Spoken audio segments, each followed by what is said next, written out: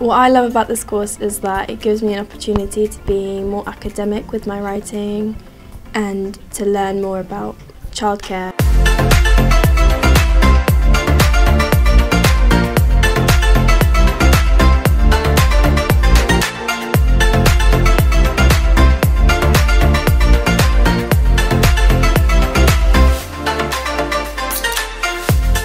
I've always had a passion for childcare since I was younger.